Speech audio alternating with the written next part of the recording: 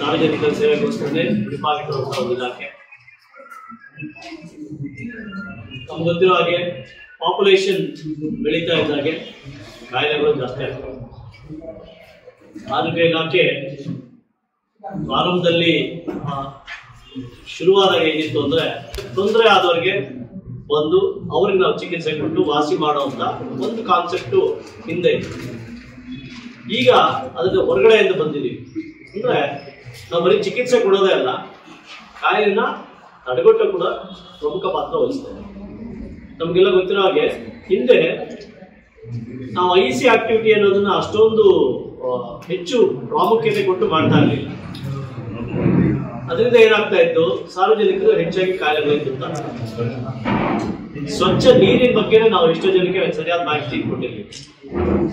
So ಈಗ ಒಂದು ಹದಿನೈದು, ಇಪ್ಪತ್ತು, ಇಪ್ಪತ್ತೈದು ಹಿಂದ್ಗಡೆ ಹೋದ್ರೆ ಹಿರಿಯ ಪತ್ರಕರ್ತರೆಲ್ಲ ಇದ್ದಾರೆ. ನಮಗೆಲ್ಲ ನೆನಪಿರ್ಬೋದು. ಕಾರಣ ಅಂತ ಒಂದು ಕಾಯಿಲೆ ಕೇಳಿದ್ರು. ಕಾರಣ ಅಂತ ಒಂದು ಕಾಯಿಲೆ ಬಂದಾಗ ಬಂದ್ರೆ ಇಡೀ ಊರು ಕೂಡ ಖಾಲಿ ಮಾಡಿಸ್ತಾ ಇಲ್ಲ.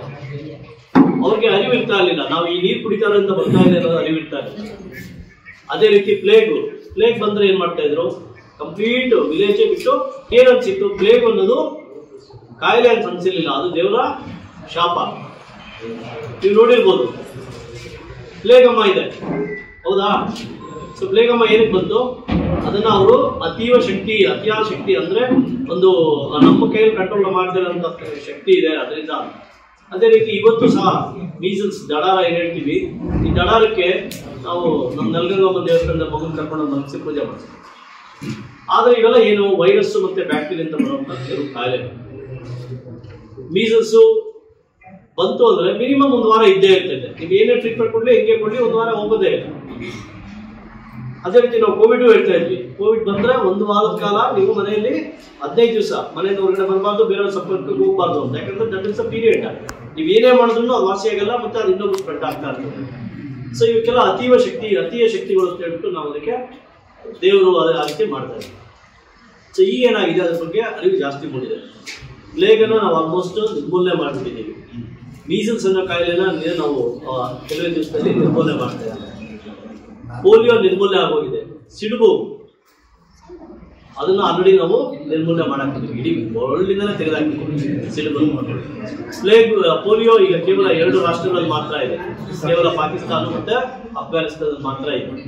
ಸೊ ಹಾಗಾಗಿ ಅದೇ ರೀತಿ ಟಿಬಿ ಟಿಬಿ ಸಹ ನಾವು ಎಲಿಮಿನೇಷನ್ಗೆ ಅಂದ್ರೆ ಭಾರತ ದೇಶದಲ್ಲಿ ಟಿಬಿ ಪ್ರಕರಣಗಳ ಸಂಖ್ಯೆ ತುಂಬಾ ಕಡಿಮೆ ಮಾಡಿಸ್ಲಿಕ್ಕೆ ಮಾನ್ಯ ಪ್ರಧಾನಮಂತ್ರಿಗಳು ಒಂದು ದೊಡ್ಡ ಕಾರ್ಯಕ್ರಮನ ಹಾಕ್- ಹಾಕೊಂಡು ಅದನ್ನ ನಾವು ಎರಡ್ ಸಾವಿರದ ಇಪ್ಪತ್ತೈದು ಅಂದ್ರೆ ಮುಂದಿನ ವರ್ಷದೊಳಗಡೆ ಒಳಗಡೆ ಅಂತ್ಯಗೊಳಿಸಬೇಕು ಒಂದು ಉದ್ದೇಶ ಅದೇ ರೀತಿ ಎಚ್ ಐ ವಿನ ಎರಡ್ ಸಾವಿರದ ಮೂವತ್ತರೊಳಗಡೆ ಎಚ್ ಐ ವಿ ಮುಕ್ತ ಮಾಡಬೇಕು ಭಾರತ ಅಂತ. ಅದೇ ರೀತಿ ಲೆಪ್ರಸಿ ಮತ್ತೆ ಮಲೇರಿಯಾ ಈ ಎಲ್ಲಾ ಕಾಯಿಲೆಗಳನ್ನ ನಾವು ಭಾರತ ದೇಶದಿಂದ ಹೊರಗಡೆ ಉದ್ದೇಶ ಇದೆ. ಇದಕ್ಕೆ ಬರೀ ಚಿಕಿತ್ಸೆ ಕೊಡ್ತಾ ಹೋದ್ರೆ ಮಾತ್ರ ಸಾಧ್ಯ ಇಲ್ಲ. ಅದಕ್ಕೆ ಪೂರಕವಾಗಿ ನಾವು ಐ ಸಿ ಚಟುವಟಿಕೆಗಳನ್ನು ಅನುಸರಿಸಬೇಕು ಅಂದ್ರೆ ಜನರಿಗೆ ಅರಿವು ಮೂಡಿಸಬೇಕು. ಇದು ಒಂದು ಸಾಂಕ್ರಾಮಿಕ ರೋಗಗಳಾದರೆ ಅಸಂಕ್ರಾಮಿಕ ರೋಗಗಳು ಅಂತ ಇನ್ನೊಂದು ಕೆಲವಿದಾವೆ. ನಮಗೆಲ್ಲ ಗೊತ್ತಿದೆ. ಈಗ ನಮ್ಮ ಭಾರತ ದೇಶದ ಪಾಪ್ಯುಲೇಷನ್ ಸುಮಾರು ಹತ್ತರಿಂದ ಹದಿನೈದು ಪರ್ಸೆಂಟ್ ಸಕ್ಕರೆ ಕಾಯಿಲೆಯಿಂದ ನಡುತ್ತಾ ಇದೆ. ಅದೇ ರೀತಿ ಒಂದು ಹದಿನೈದರಿಂದ ಇಪ್ಪತ್ತು ಪರ್ಸೆಂಟ್ ವರೆಗೂ ಬಿ ಪಿನ ನಡುತ್ತಾ ಇದೆ. ಸೊ ಮತ್ತೆ ಇನ್ನೊಂದೇನು, ನಮ್ಮಲ್ಲಿ ಕೆಲವು ರಾಜ್ಯಗಳಲ್ಲಿ ಟೋಟಲ್ ಫರ್ಟಿಲಿಟಿ ರೇಟ್ ಅಂತ ಹೇಳ್ತೀವಿ ಅಂದ್ರೆ ನಮ್ಮ ಜನರ ಫಲವತ್ತಿಕೆ ಪ್ರಮಾಣ ಅಂತ ಹೇಳ್ತೀವಿ ಅದೇನಾಗಿದೆ ಅಂದ್ರೆ it has reach one replacement level ಅಂತ ಹೇಳ್ತೀವಿ.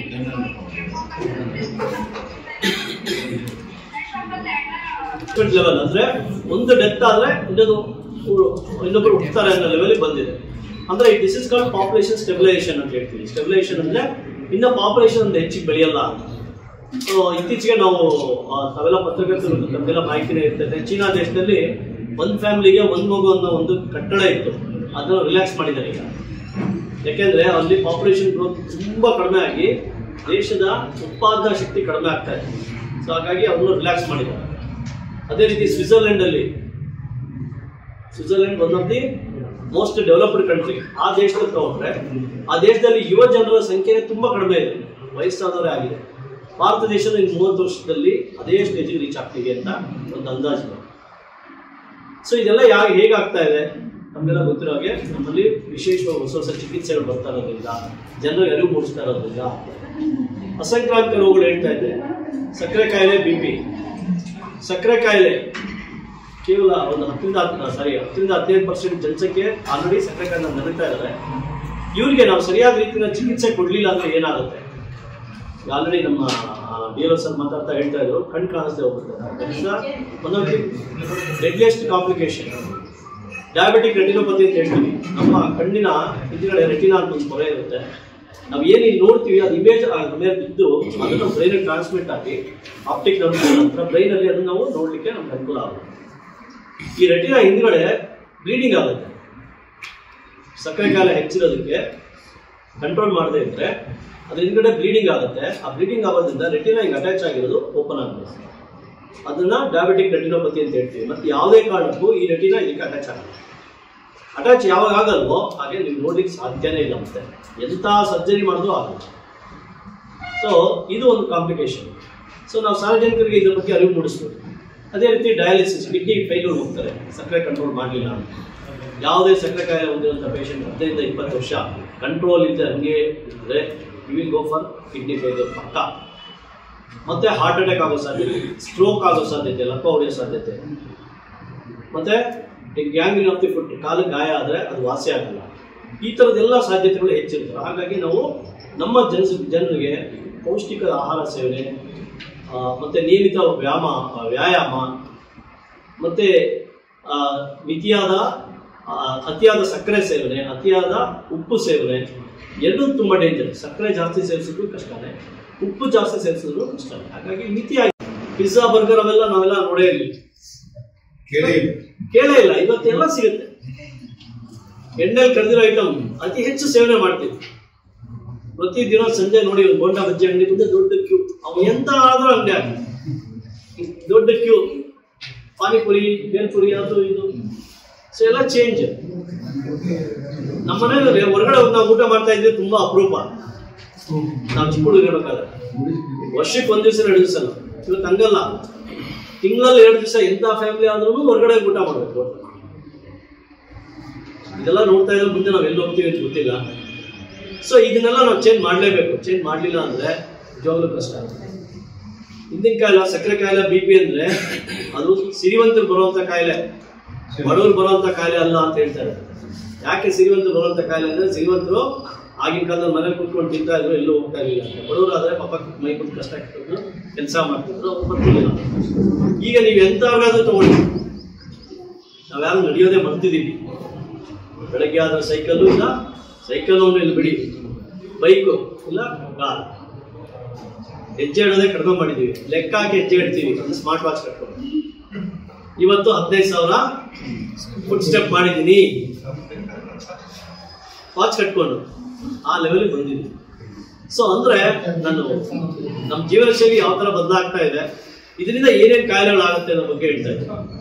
ಸೊ ಇದರಿಂದ ಪ್ರತಿಯೊಂದು ನಮ್ಮ ದೇಹದ, ನಮ್ಮ ದೇಹದಲ್ಲಿ ಬದಲಾವಣೆ ಆದಂಗೆ, ವಾತಾವರಣದಲ್ಲಿ ಬದಲಾವಣೆ ಆದಂಗೆ, ತಾವು ನೋಡ್ತಾ ಇದ್ದೀವಿ ಎಷ್ಟೋ ಸಾವಿರಾರು ವೆಹಿಕಲ್ಸ್ ಓಡಾಡ್ತಾ ಇದ್ದಾರೆ. ಅವು ಸೂಸುವಂಥ ಮಾಲಿನ್ಯ ಇದರಿಗೆ ಅರಿವು ಮೂಡಿಸುವಂತ ಮಾಹಿತಿನ ನೀಡ್ತಿದ್ದೀವಿ. ಆ ಮಾಹಿತಿ ಪ್ರತಿಯೊಬ್ಬರಿಗೂ ಹೋಗ್ಬೇಕು. ಇತ್ತೀಚೆಗೆ ಒಂದು ಎರಡು ಮೂರು ದಿವಸದಿಂದಲೇ ನಾವು ನೋಡಿದ್ದೀರ, ಬಾಂಬೆ ಬಾಂಬೆ ಮಿಠಾಯಿ ಮತ್ತೆ ನಾವು ಹೆಚ್ಚು ಗೋಬಿ, ಇಷ್ಟಪಟ್ಟು ತಿನ್ನುವಂಥ ಗೋಬಿ ಮಂಚೂರಿ ಅದಕ್ಕೆ ಹಾಕೋ ಕಲ್ಲರ್ನ ಬ್ಯಾನ್ ಬ್ಯಾನರ್ ಮಾಡಿ. ಆಹಾರನ ಬ್ಯಾನ್ ಮಾಡಿದ್ದ ಗೋಬಿ ಮಂಚೂರಿ ತಿನ್ಬೇಡಿ ಅಂತ ಹೇಳ್ತಾ ಇಲ್ಲ. ಅದಕ್ಕೆ ಕಲ್ಲರ್ ಹಾಕದೆ ಹಾಗೆ ಮಾಡಿದ್ರೆ ತಿನ್ನಿ. ಕಲ್ಲರ್ ಹಾಕಿದ್ರೆ ತಿನ್ಬೇಡಿ. ನಮ್ಮ ಕಣ್ಣಿಗೆ ತಂಪಾಗಿ ಕಾಣಲಿ ಅಥವಾ ಸುಂದರವಾಗಿ ಕಾಣಲಿ ಅಂತ ಒಂದು ರೆಡ್ ಕಲರ್ ಹಾಕ್ಬಿಟ್ಟು ಗೋಬಿ ಮಂಚೂರಿ ಮಾಡ್ತಾರೆ. ದಟ್ ಈಸ್ ಡೇಂಜರಸ್ ಅದೇ ರೀತಿ ಕೆಲವು ಚಿಕನ್ ಐಟಮ್ ಎಲ್ಲ ಮಾಡೋಕ್ಕೆ ಮೋನೋಸೋಮೋ ಮೋನೋಕ್ರೋಮೋ ಸೋ ಸೋಡಿಯಂ ಗ್ಲೂಕೋಲೇಟ್ ಅಂತ ಮಾಡ್ತಾರೆ ಅಜಿನೋಮೋಟೋ ಒಂದು salt that is also very dangerous cancer ಕಾರಣ ಅದೇ ರೀತಿ ನಮ್ಮಲ್ಲಿ ಅಟಿಕೆಗಳು ಬೊಂಬೆಗಳು ಏನಿರ್ತವೆ, ಅದಕ್ಕೆ ಪೇಂಟ್ ಹೊಡಿತಾರೆ ಅದರಲ್ಲಿ ನೆಟ್ ಕಂಟೆಂಟ್ ಇರ್ತದೆ ನಮ್ಮನೆ ವಾಲ್ ಪೇಂಟ್ ಮಾಡಿಸ್ತೀವಿ. ಅಲ್ಲೂ ಪೇಂಟ್ ಕಂಟೆಂಟ್ ಲೆಡ್ಡು ಕೆಮಿಕಲ್ಸ್ ಎಲ್ಲ ಇರ್ತವೆ.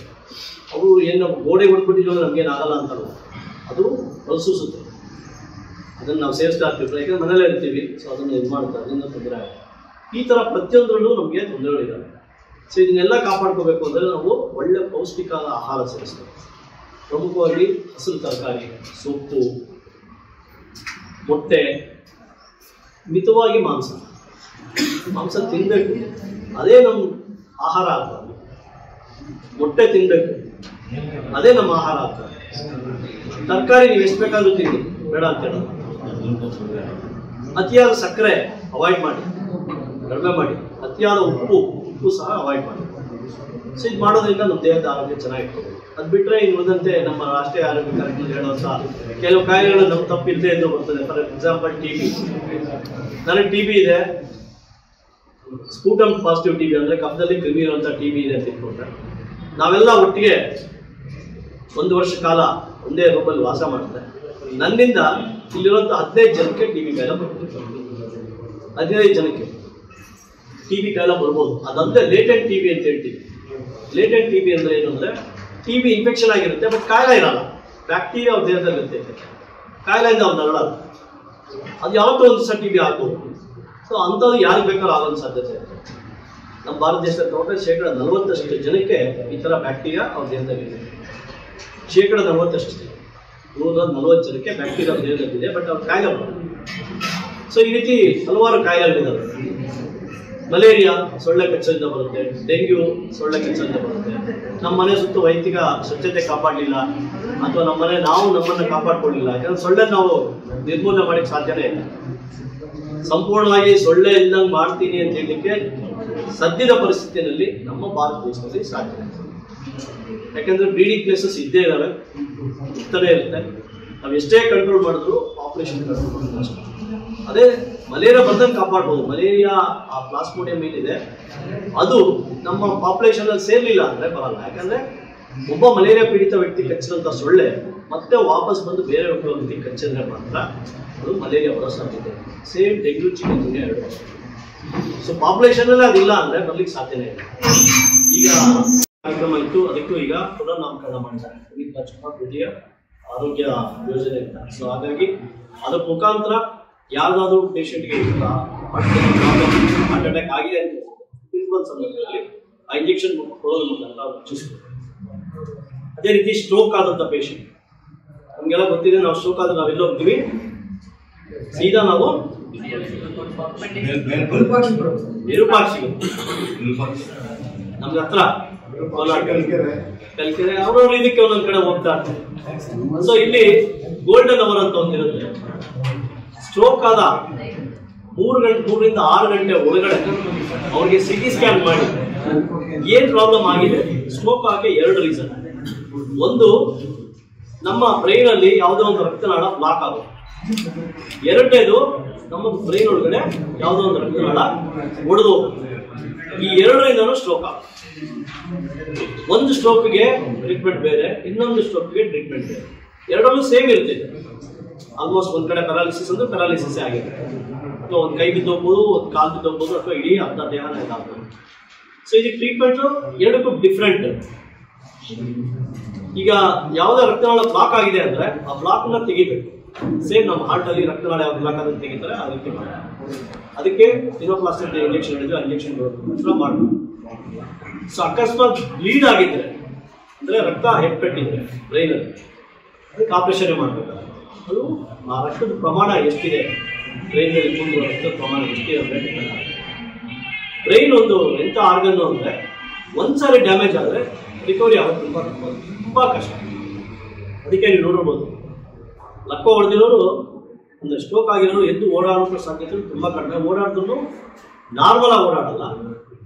ಓಡ್ತಾರೆ ಕೇವಲ ಕೆಲವೇ ಮಂದಿಗಳು ಮಾತ್ರ ಆರಾಮ ಓಡಾಡ್ತಾರೆ. ಅವರಿಗೆ ಯಾವುದೋ ಸಣ್ಣ ರಕ್ತನಾಳ ಬ್ಲಾಕ್ ಆಗಿರುತ್ತೆ. ಅದು ಇದಾಗುತ್ತೆ ಒಂದು, ಅಲ್ಲೇ ಪಕ್ಕದಲ್ಲಿ ಕೊಲಾಟ್ರಲ್ ಸರ್ಕ್ಯುಲೇಷನ್ ಅಂತ ಹೇಳ್ತೀವಿ. ಅಂದರೆ ಈ ರಕ್ತನಾಳ ಬ್ಲಾಕ್ ಆದರೆ ಪಕ್ಕದಲ್ಲಿ ಹೊಸ ರಕ್ತನಾಳ ಜನರೇಟ್ ಆಗಿ ಡೆವಲಪ್ ಆಗಿ ಆ ರಕ್ತ ಚಲನೆನ ಮೇಂಟೈನ್ ಮಾಡುತ್ತೆ. ಅಂಥ ಟೈಮಲ್ಲಿ ಅವ್ರು ರಿಕವರಿ ಆಗ್ತಾರೆ. ಬಟ್ ಯಾವುದೇ ಕಾರಣಕ್ಕೆ ಡ್ಯಾಮೇಜ್ ಆದಂಥ ಬ್ರೈನ್ ಮತ್ತೆ ರಿಕವರಿ ಆಗೋದು ಸಾಧ್ಯತೆಗಳು ತುಂಬ ತುಂಬ. ಸೊ ಹಾಗಾಗಿ ಜನರಿಗೆ ಇದ್ರ ಬಗ್ಗೆ ಅರಿವು ಮೂಡಿಸ್ಬೇಕು. ಯಾವುದೇ ವ್ಯಕ್ತಿ ನನ್ನ ದೇಹದ ಯಾವುದೇ ಒಂದು ಪಾರ್ಟ್ ವೀಕ್ ಆಗಿದೆ ಅಂದರೆ ಇಮಿಡಿಯೇಟ್ ಆಗಿ ಅದನ್ನು ಆಸ್ಪತ್ರೆಗೆ ಕರ್ಕೊಂಡು ಹೋಗಬೇಕು ಐದು C T or M R I ಮಾಡಿಸ್ಲೇಬೇಕು. ಮಾಡಿಸಿದ ನಂತರ ಅದು ಯಾವ ಪ್ರಾಬ್ಲಮ್ ಇದೆ ಅಂತ ಐಡೆಂಟಿಫೈ ಮಾಡಿ. ಅದಕ್ಕೆ ಚಿಕಿತ್ಸೆ ಕೊಡೋ ಮುಖಾಂತರ ಹಂಡ್ರೆಡ್ ಪರ್ಸೆಂಟ್ ರಿಕವರಿ ಮಾಡಬೇಕು. ಸೊ ಈ ಸ್ಟ್ರೋಕ್ ಪ್ರಾಜೆಕ್ಟ್ ಅಂತ ಇದನ್ನು ಇಡೀ ಒಂದು ತಾಲೂಕಿಗೆ ನಿಮ್ಯಾನ್ಸರ್ ಮಾಡ್ತೀವಿ. ಇತ್ತೀಚೆಗೆ ನಮ್ಮ ಜಿಲ್ಲಾಗಳ ಕಚೇರಿಯಲ್ಲಿ ಸಭಾಂಗಣದಲ್ಲಿ ಆಯೋಜಿಸಲಾಗಿದೆ ಇದೊಂದು ಪ್ರಾಯೋಗಿಕ ಕಾರ್ಯಕ್ರಮ. ಅಂದ್ರೆ ಇಡೀ ಮುಳಬಾಗಿಲು ತಾಲೂಕಲ್ಲಿರುವಂಥ ಎಲ್ಲ ಜನರುಗಳು ಅವ್ರ ಮನೆಗೆ ಭೇಟಿ ಮಾಡಿ, ಮೂವತ್ತೈದು ವರ್ಷ ಮೀರಿದಂತ ಭೇಟಿ ಮಾಡಿ ಅವ್ರನ್ನೆಲ್ಲ ಡೇಟಾ ತಗೋತಾರೆ. ಡೇಟಾ ತಗೊಂಡು ಅವ್ರನ್ನ ಸುಮಾರು ನಾಲ್ಕು ವರ್ಷ, ಪ್ರತಿ ವರ್ಷಕ್ಕೊಂದು ಸಾರಿ, ವರ್ಷಕ್ಕೆ ಮೂರು ಸಾರಿ, ಮೂರು ನಾಲ್ಕು ಸಾರಿ, ಮೂರು ತಿಂಗಳು ಒಂದೊಂದು ಸಾರಿ ಅವ್ರ ಮನೆಗೆ ಹೋಗಿ ಅವ್ರದ್ದು ರಕ್ತ ತಗೊಂಡು ಪರೀಕ್ಷೆಗಳು ಮಾಡಿ ಏನು ಅವ್ರ ರಕ್ತದಲ್ಲಿ ಏನೇನು ಚೇಂಜಸ್ ಬರುತ್ತೆ, ಯಾರಿಗೆ ಸ್ಟ್ರೋಕ್ ಆಗುತ್ತೆ ಸ್ಟ್ರೋಕ್ ಆದವ್ರನ್ನ ಮುಂದೆ ಯಾವ ರೀತಿ ಮೇನೇಜ್ ಮಾಡಬೇಕು ಅನ್ನೋ ಬಗ್ಗೆ ಕೂಡ ಒಂದು ಸ್ಟಡಿ ಮಾಡ್ತಾರೆ ಸೊ ಈ ಥರ ಹಲವಾರು ಕಾರ್ಯಕ್ರಮಗಳು ಹೊಸ ಕಾರ್ಯಕ್ರಮಗಳೆಲ್ಲ ಬರ್ತಿದ್ದಾವೆ. ಸೊ ಹಾಗಾಗಿ ದಯವಿಟ್ಟು ತಾವು ಈ ಕಾರ್ಯಕ್ರಮದ ಬಗ್ಗೆ ಹೆಚ್ಚು ಅರಿವು ಮೂಡಿಸಬೇಕು.